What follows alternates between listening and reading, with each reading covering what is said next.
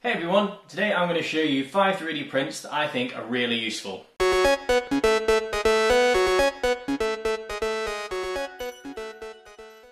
So we'll start off with a really simple one. This is a toothpaste tube squeezer. Basically, it makes it super easy to get all the toothpaste out of the tube. Uh, and this one in particular looks like a buffalo. Cool little animal shape on it. There's a lot of these similar designs out on Thingiverse, but yeah, I quite enjoyed this one, like I say, because it's got the cool animal shape to it. Number two in our list of useful 3D prints is this, a very simple bag clip. So you know when you open up maybe a bag of crisps, a bag of pasta, and you want to keep them fresh, you want to make sure nothing goes everywhere, simply pop this on, clip it in, and you're all good to go. Your food's not going to go anywhere. At number three in our list is this solder spool holder. It's super, super easy to use and super easy to print. There's no excessive overhangs or anything like that. Simple bit of support and it's good to go. This is incredibly useful when you're soldering for obvious reasons. It makes it super easy to pull the solder away from the spool.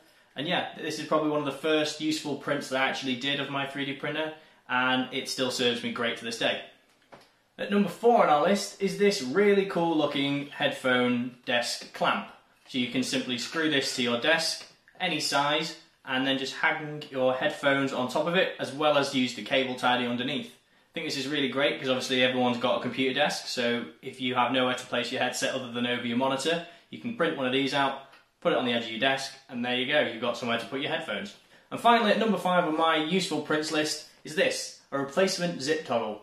I have lost count of how many times I have broken the zip off of a coat, a bag, anything really, and this is a lifesaver. It's super easy to print. This one literally took me 10 minutes to do and you can easily scale this down to whatever size you need and it works fantastically.